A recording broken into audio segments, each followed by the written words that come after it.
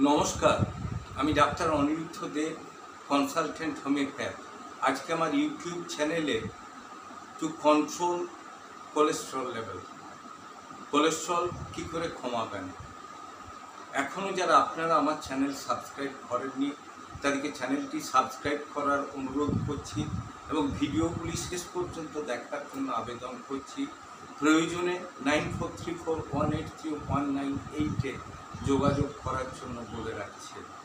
Two control cholesterol আমাদের জীবনযাত্রা এখন এমন হয়ে গেছে, আমরা প্রচণ্ড ফাস্টফুডের উপর নির্ভর করি, বাড়ির খাবার দাবার কম খায় এবং কর্ম বিমুখ হয়ে গেছি।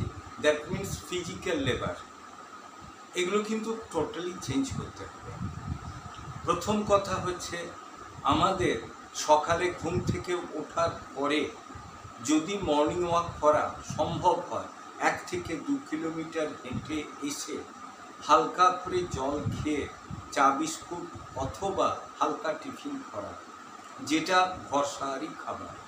দুপুরের খাবারের ভেতরে তেল, মশলা, পনির, ঘি, মাখন রেড মিট ইত্যাদি যতটা পারা যায় কম করা দরকার। তেল ঠেলগুলো যতটা পারা যায় অ্যাজ মিনিমাম অ্যাজ পসিবল দিয়ে রান্না করা উচিত। এবং যতটা খেতে পারা যাবে, তার থেকে কিছুটা কম খাওয়া। খাবার পরে সাথে সাথে না কমিয়ে একটুখানি রেস্ট নিয়ে, তারপর যদি ঘুমানোর দরকার হয়, ঘুমানো। এরপর সারাদিন যা কাজ থাকল, কাজ করার পরে বিকালে অফিস বা কাজের জায়গা থেকে ফিরে এসে আবার এক থেকে দেড় ঘণ্টা হাঁটা, হালকা টিফিন করা এবং রাতের খাবারের আগে যেন fast food that means Maggi, chow mein, cutlet, phuchka, momo ইত্যাদি না খাওয়া।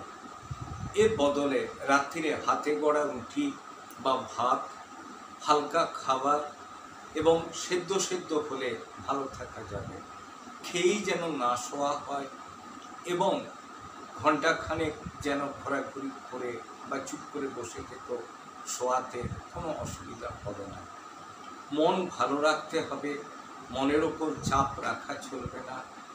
সারাদিনে পনেরো থেকে তিরিশ মিনিট ফ্রি হ্যান্ড এক্সারসাইজ বা যোগাসন করা শরীরের পক্ষে খুবই বাঞ্ছনীয়।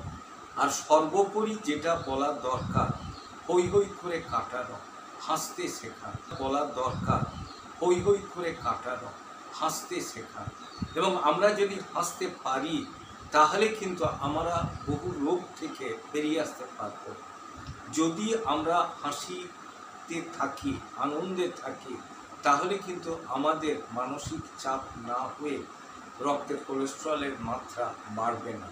সর্বোপরি যেটা দরকার হচ্ছে, সবার সাথে মিলে মিশে এবং সবাইকে নিয়ে চললে অল্পে সন্তুষ্টি যদি থাকে, শরীরের প্রতি যত্ন নেবার আগ্রহ থাকে, তাহলে কিন্তু আমরা ভালো থাকব। সর্বোপরি একটা কথা বলা দরকার। এই ফার্স্ট লাইফে আমরা রাত্রের দিকে অনেক সময় হার্ড ড্রিঙ্কস খেয়ে বলি যে আমাদের চিন্তা ভাবনা দূর করছি। এটা কিন্তু সর্বৈব ভুল কথা। সাময়িক আপনার মাথার থেকে সমস্যাগুলো যাচ্ছে নার্কোটিক্স এফেক্টে কিন্তু ওটা কিন্তু আপনাকে পর পর বড় রোগের দিকে ঠেলে দিচ্ছে। কাতে, কাজে ওই জিনিস থেকে শতহস্ত দূরে থাকায় বাঞ্ছনীয় তবে যদি আপনার কোলেস্ট্রল লেভেল বাড়ে, আপনাকে ইসিজি ইকো করিয়ে ডাক্তারবাবুর পরামর্শ নেওয়া এবং ডাক্তারবাবুর কথা মতো চলা, তার বিধান অনুযায়ী ওষুধ খাওয়া বাঞ্ছনীয় আমার চ্যানেল যদি আপনাদের ভালো লাগে, অবশ্যই লাইক করুন শেয়ার করুন কমেন্ট করুন। সাবস্ক্রাইব করুন প্রয়োজনে nine four three four one eight three one nine এইটে যোগাযোগ করুন ভালো থাকুন, সুস্থ থাকুন।